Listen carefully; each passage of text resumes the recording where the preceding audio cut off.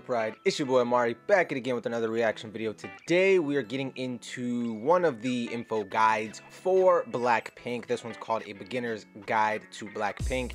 I am 100% certain that people are not going to be happy with this video. And how do I know that? Because every single info guide I've ever reacted to ever, people have complained that I didn't react to this other one that they wanted. But th this is the one I'm doing for today because title makes it seem like it should be a good video and it also has a ton of views so I'm hoping that it's decent but if there's another guy that you would have preferred me to react to that I didn't know because I can't read your mind unfortunately because that would have been cool let me know in the comment section down below I'm shaking the camera but whatever we're gonna get into this video hopefully you guys are having a great day and I'll be seeing all of you guys on the other side Jisoo, Jennie, Lisa, and Rose. Dang it! I'm trying to look at the camera and say it. How do four girls living in four different countries with only nine songs? Korea, Thailand, New Zealand. Wait, no, Australia. Wait, hold on. Four different countries? What? How do four girls living in four Oh, okay, New Zealand and Australia. Okay, all right. I was right. I was just. I see. I see. I put it together now. Four different countries with only nine songs to their name become the most viewed K-pop group of all time, perform at the largest American music festival, and signed to the same label as Lady Gaga, Selena Gomez, and Maroon 5. It's one of these things is not like the other. Let me chill before I get canceled. Um, why don't they have a ton of music out? Like, why why do they only? I'm assuming this video is a few years old because it doesn't have um, Pink Venom on it, obviously. But that that's a very small catalog, right? Especially by K-pop standards, because like they release music like every 37 seconds. So what in their creative process makes it where they release music less often? That I am curious to know. Time to welcome Blackpink to your area on today's beginner's guide to Blackpink. This K-pop Blackpink has four members. Jisoo, Jennie, Rose, and Lisa. They debuted in 2016 under the YG Entertainment Company. But all the cool kids just call it YG. Fans of Blackpink are called Blinks. All you have to do is squish together black and pink and you'll get the picture, I think. From the very beginning, Blackpink's image has been edgy, cool, and forward thinking. Picture lots of rapping. This video is is so chaotic, but I guess I'm not a beginner because I did know that you guys are called Blinks already, and I did know that there were four of them. Uh, I did know that they were from different countries, but with that being said, most of what I know about Blackpink is literally from you guys in the comment section. So if there's any info that isn't in this video that you would like me to know, again, leave in the comment section down below. I do read all of my comments. Yes, every single one of them. I don't respond to all of them because I don't have the time, but I do read all of them. So lots of dancing, declarations of female power, and hair flips. Lots and lots of hair flips. So, let's meet the powerful ladies of Blackpink. Jisoo is the oldest member of Blackpink. She is also the only one born and raised in South Korea. Jisoo is one of Blackpink's lead vocalists. She's also the weirdest member. By far. Yahoo! Jisoo has become well known for her gorgeous face and her childlike and friendly personality. She's one of the group's designated visuals. Which just means she's hot. Jennie is the first member of Blackpink to go solo. Solo la la la la la. She was born in South Korea and grew up in New Zealand. Do you know any cities in New Zealand? Oh! Jennie's stone cold gaze and fierce rapping abilities quickly gave her the title of a diva, though she would argue that she's no diva at all. Hi, Lucy. Rose's smoky voice and hipster chic style makes her the indie darling of Blackpink. Think Bubbles from the Powerpuff Girls, but with the best Spotify playlist you've ever heard. You want me to? I really, really, really to the left, to the left.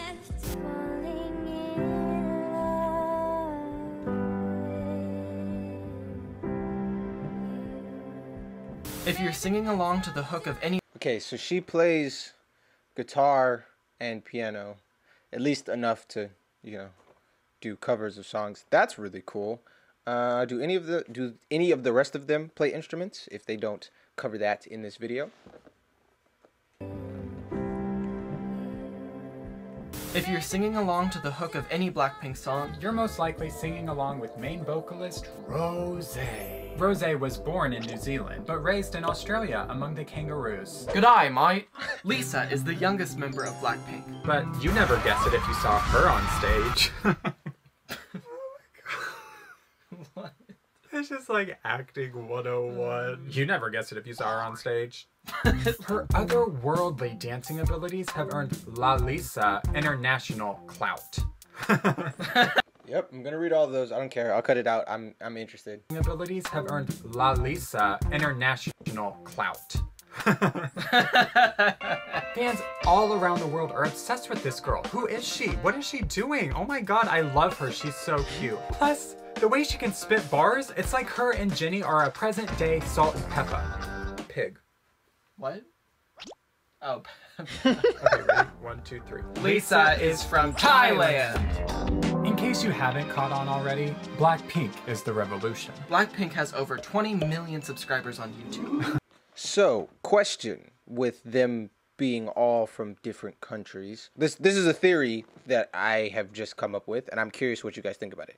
Do you think that that has actually helped them one in their global appeal because now they have fans from their individual uh, different countries all coming to support them. I see all you Thai people in my comment section. Shouts out to you guys. But also because they are already used to other non Korean cultures. And what I mean by that is it can be scary sometimes to go on the road to countries that you have never been to, to countries that are very different from what you are used to. And if you've been raised in a place like Korea, which is very homogenous, um, then it can be jarring, I'm assuming, to go to a place like Brazil or the United States where we have a ton of different people and cultures and craziness happening at any given time all at the same place. So I say that to say, do you guys think that them not originally being from Korea, not that like being from Korea gives you like a handicap or something, but them being from somewhere else and then coming to Korea helps them when they go to other places feel more comfortable because they are already used to being in a country that is not their native country. Just food for thought. Blackpink is the revolution. Blackpink has over 20 million subscribers on YouTube. Oprah doesn't even have that many. They're the highest charting female K-pop act on the US Billboard charts. And they're going to Coachella in like a week. How did they do all of that with literally nine songs? Blackpink's rise to fame can be traced back to three main Okay, so 2019, there we go. But 2016 to 2019, they had nine songs. That's not a lot for K-pop at all. So my question from earlier about why don't they have a ton of music, and also this question here of how did they get so popular and successful with that small of a catalog. Both of those are, are very interesting to me. Factors. First is their pre-debut hype. Before Blackpink became Blackpink, they were Jisoo, Jennie, Rose, and Lisa. Four young trainees under YG Entertainment. In K-pop, becoming a trainee is similar to signing a contract with a Hollywood studio. In both situations, you first pass an audition. Then, your company keeps you on retainer while you perfect your marketable skills like singing, dancing, public speaking, and twerking. then, if your company finds a good fit for you, they will debut you to the public as an artist or group. Back in the golden age of Hollywood, the biggest studios were MGM, Paramount, Warner Bros. In modern day K pop, however, the big entertainment companies are SM, JYP, and YG. They're also known as the Big Three. I was gonna say something. This really is a beginner's guide. This is like a beginner's guide to K-pop. Like they're explaining positions and the big three and everything. I I know all of this stuff already, guys. I just want to know about them. But I get it. Like if you've never been exposed to K-pop before, then this would all be very helpful information. Are SM, JYP, and YG. They're also known as the Big Three. The Big Three! The Big Three! a major reason for Blackpink's early popularity was the grand mythology of YG and his girl groups. YG's first big girl group was 2NE1. They were a majorly popular group that became known around the world. What's the name of the group again? Uh, 2NE1. Take a look. Seriously, who was gonna follow up that?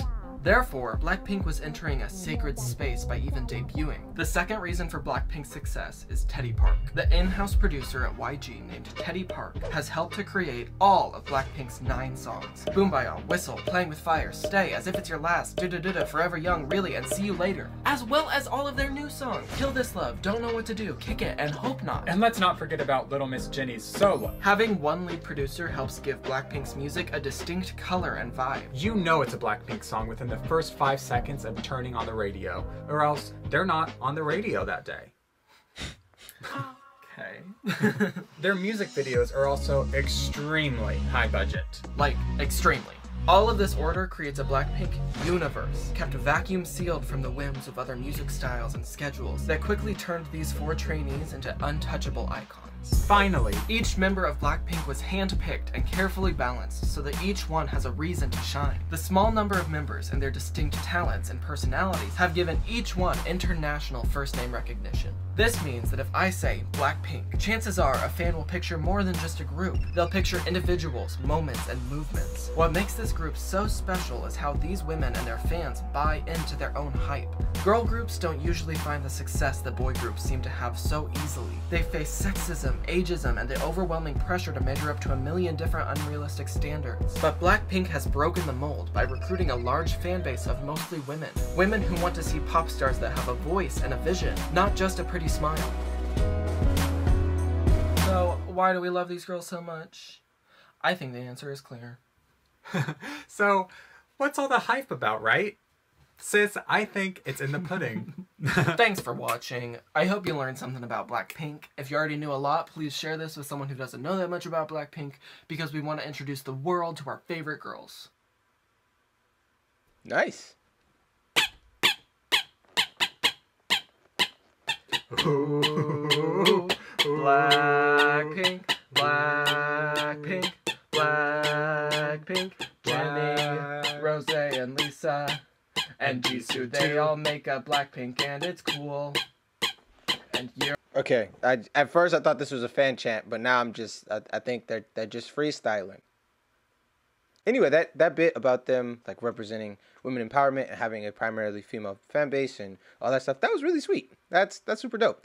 This video did not teach me that much about them though, so uh, sure you guys are gonna be pissed off and tell me to go watch another video. So comment section, let me know more better videos that will teach me more better information. Yeah, that makes no grammatical sense, but hopefully you get what I'm saying because American and our English is broken already anyway. So,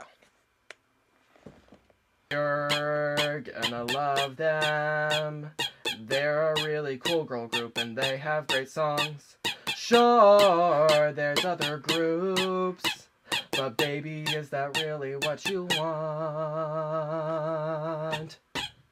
Bless your soul, you're now standing Blackpink. You're gonna make them your friends, and they're gonna love you. And you're gonna wish that they could be your best friends, and you're all gonna win 1200 Grammys. Ooh, Blackpink, Blackpink, Blackpink, Jisoo. Oh, wait, what? Mwah, love. dope. So, yeah, like I said, I'm sure you guys are going to bash that video because it didn't teach me that much about the group. But it was actually a pretty decent intro into K-pop in general and like a decent intro into them. It just didn't teach me more than what you guys had already taught me in the comment section. Other than the fact that I like didn't realize that they were all from different countries. That's pretty cool. But anyway, yeah, let me know in the comment section down below what other intro to Blackpink video you would like me to watch. Because I know, I know you guys are going to want me to watch another one. So, uh, comment section, let me know. Please. Thank you. I really appreciate it. Thank you guys for being here on the channel with me. And I'll be seeing all of you guys here next time. So definitely make sure to like, comment, subscribe, and share. Not missing more content like this. You guys have a great day.